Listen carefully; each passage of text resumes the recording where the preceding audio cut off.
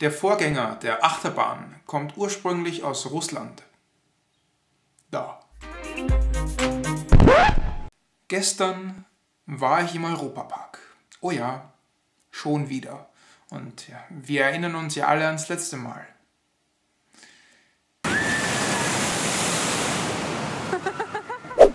Tja, aber diesmal habe ich selber mehr gefilmt und habe auch sonst sehr viel Videomaterial. Also viel Spaß mit den Videoaufnahmen inklusive Blue Fire, das ist diese neue tolle Achterbahn, die es jetzt im Europapark gibt.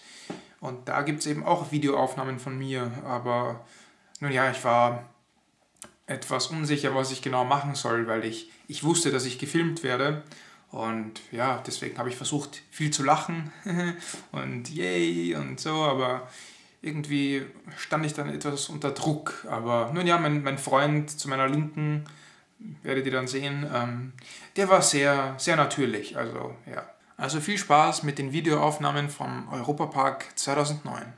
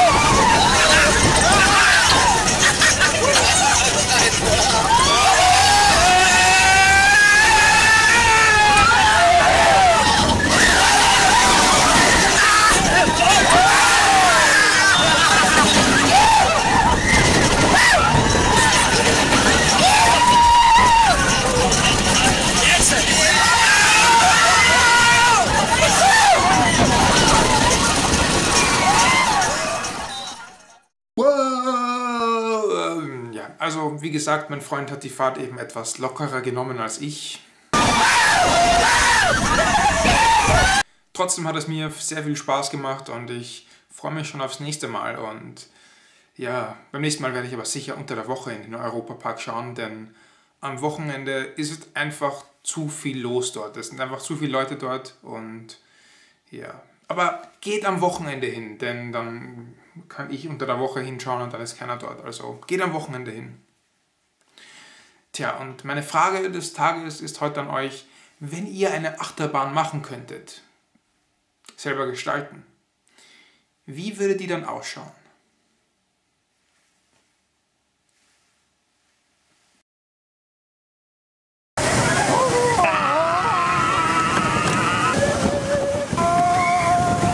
So, Nahaufnahme.